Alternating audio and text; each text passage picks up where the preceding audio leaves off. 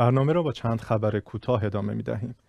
منابع محلی در یمن گفتند که افراد مسلح ناشناس با ریختن مقدار زیادی بنزین مسجدی, دار مسجدی را در روستای زلهاس در استان زاله به آتش کشیدند. این منابع خاطر نشان کردند که آتش سوزی اساسی مسجد را تقریبا به طور کامل تخریب کرد و خسارات مادی زیادی را به مسجد وارد کرد. مردم از مقام های امنیتی خواستند تا این موضوع را بررسی کرده و به نقض حرمت مساجد پایان دهند.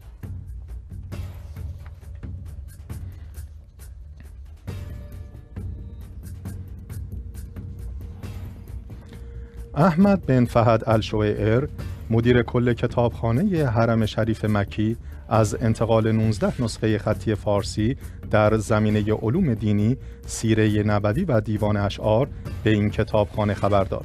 به افزود این 19 کتاب خطی شامل موضوعات مختلف می شود که از کتابخانه شیخ مصطفی احمد کمال به کتابخانه حرم شریف مکی انتقال یافته و اکنون عملیات محافظت، مرمت، نگهداری و بایگانی آنها در دستور کار است.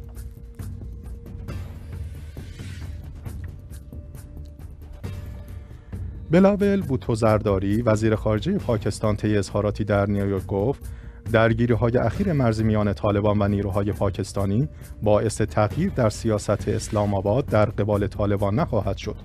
گفتنی است در چند هفته اخیر چندین بار درگیری مرزی میان نیروهای طالبان با نیروهای ارتش پاکستان در مناطق مرزی رخ داد که موجب کشته و زخمی شدن تعدادی از نیروهای طرفین گردید.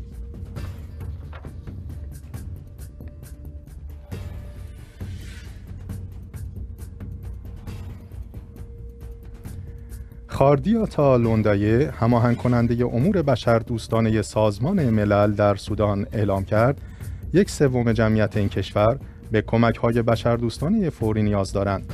وی خواستار ارائه فوری حمایت مالی به ارزش یک میلیارد 700 میلیون دلار برای رفع نیازهای فوری در سودان شد.